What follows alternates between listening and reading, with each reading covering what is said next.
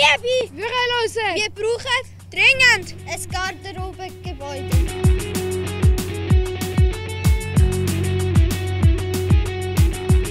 Und ein Clubhaus. Bitte, helfen uns. Nicht, dass wir in diesen Container uns immer noch umziehen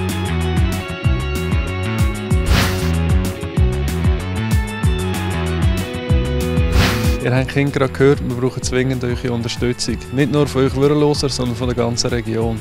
Wir zählen auf euch. Trotz der schwierigen Zeit, Corona, wie wir sie jetzt haben, kommen wir und äh, starten unsere Aktionen zur Finanzierung des Garderobengebäudes. Und dabei denke ich jetzt schon, oder danke ich euch herzlich für äh, die Unterstützung, die ihr euch, uns werden zukommen lassen.